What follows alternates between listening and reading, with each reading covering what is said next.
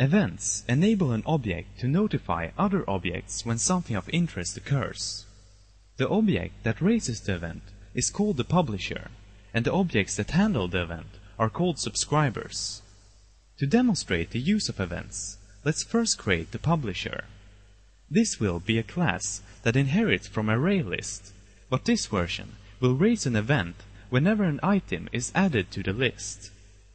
Before we can create the event, we first need a delegate that will hold the subscribers.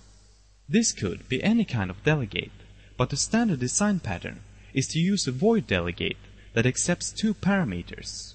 The first parameter specifies the source object of the event, and the second parameter is a type that either is or inherits from the system event args class.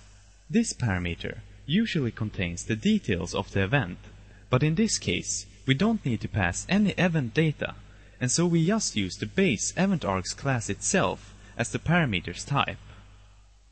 With the delegate defined, we can create the event using the event keyword followed by our delegate and the name of the event.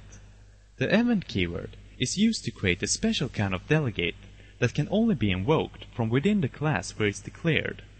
Its access level is public so that other classes are allowed to subscribe to this event. The delegate that follows the event keyword is called an event delegate.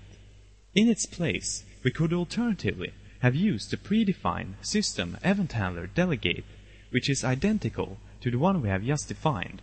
This predefined delegate is used by the .NET class libraries for creating events that have no event data. The name of the event is commonly a verb.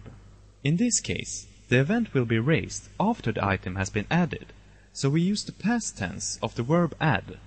If we created a pre-event instead, which is raised before the actual event, we would then use the ing form of the verb, in this case adding. Next, to invoke the event, we create an event caller. The naming convention for this method is to precede the event's name with the word on, which in this case becomes onAdded.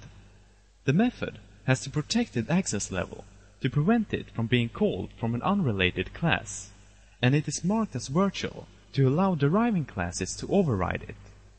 It takes the event arguments as its one parameter, which in this case is of the event args type. The method will raise the event only if it is not null, that is, only if the event has any registered subscribers. To raise it, we pass the this instance reference as the sender and the event args object that was passed to the method. Now that we have an event and a method for calling it, we just need to override the ArrayList's add method to make it raise our event. In this overridden version of the method, we first call the base class's add method and store its result. We then raise the event with the onAdded method by passing the empty field in the eventArgs class, which represents an event with no data. And finally, we return the result to the caller.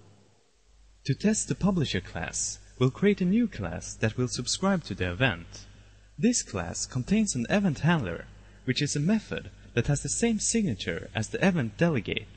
The name of the handler is commonly the name of the event, followed by the event handler suffix. Next, we'll add a main method where we create objects of the publisher and subscriber classes. To register the handler in the subscriber object to the event in the publisher object, we just need to add the event handler as if the event was a delegate.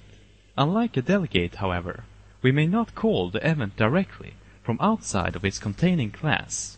Instead, the event can only be raised by the publisher, which in this case occurs when an item is added to that object.